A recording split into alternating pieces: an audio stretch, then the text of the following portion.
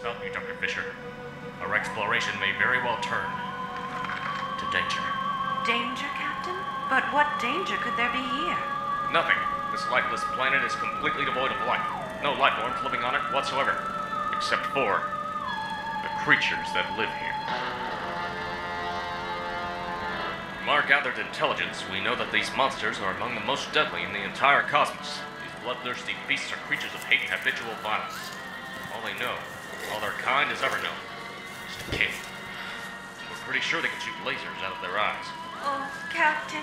Never to fear, Doctor. We'll be able to get off this rock once we sample the Tikulon energy crystals, use it to re-energize the ship's warp drive, and then use the resonating positrons to refuel our ship through the power of atomic energy.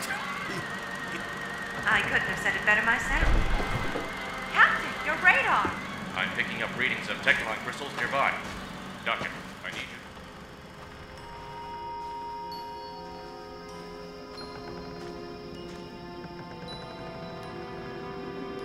嗯